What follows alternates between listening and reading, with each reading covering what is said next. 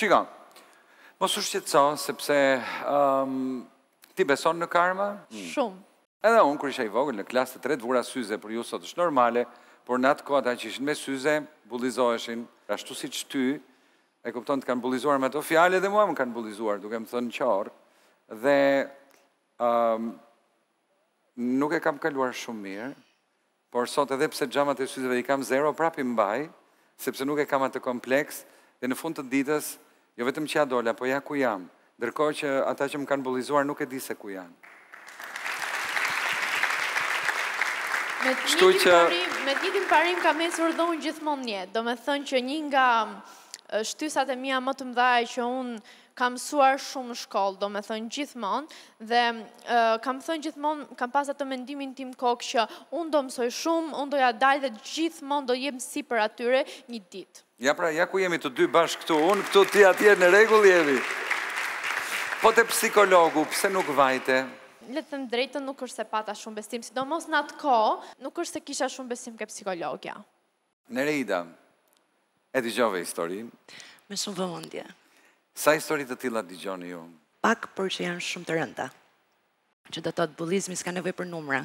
Edhe një rast i vetëm, ma beso që ndërkohë që vajza fliste, unë kisha para ndoshta një tjetër imazh, që më erdhi shumë i gjallë dhe empatia nuk të shpëton dot nga përjetimi ose transmetimi i emocioneve që ç'ka përjetuar dikur vajza. Uh, unë vura re një të vërtetë shumë të madhe përsa i përket ashtu ndodh vërtet. Mënyra si ndodh, uh, organizimi si ndodh, kushtet ku ndodhin.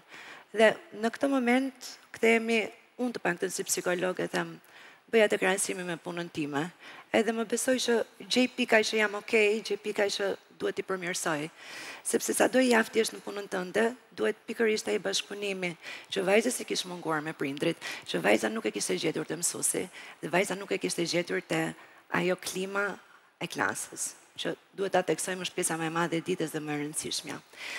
Ëm, çfarë mua më ngeli në mendje sërish është nuk e di pse nuk e tha që duhet të ndihet shumë krenare për veten, ashtu edhe shumë të tjerët, është një kujtim që do të shoqërojë gjatë në jetë, por ma beso që pas gjithë kësaj historie, kur ti të arrish ta kalosh 100% totalisht që mos të të japin më atë ndjesinë e keqe kur e kujton, asgjë në jetë ty nuk do të duket më e pamundur, asgjë në jetë nuk do të duket më e pa ose vetja e pafuqishme për ta luftuar, sepse pikë së pari në këtë situatë ti ke fituar mbi veten, mbi frikërat e tua, ke sfiduar të gjitha ato mendime që ti i ke interpretuar si sulme që kanë qenë totalisht të pavërteta, thjesht i ke dhënë mundësinë dikujt të shkarkojë mbi ty emocionet e veta të pashprehura, ngarkesat e veta që të gjeti disponibël të themi, të gatshme për ta pranuar dhe për të mos e kundërshtuar nëpërmjet kërkimit ndihmës, nëpërmjet adresimit të të të problemit